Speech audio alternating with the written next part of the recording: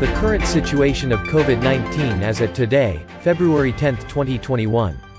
The Health Ministry recorded 3,288 new COVID-19 cases today, this raised the total to date to 251,604. There were 1,929 recoveries today, bringing the cumulative number of recovered cases to 198,495.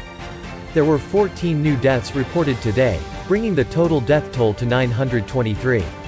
There are now 52,186 active COVID-19 cases under treatment. Of the 3,288 new cases reported today, there was 5 imported case, and 3,283 cases were locally transmitted.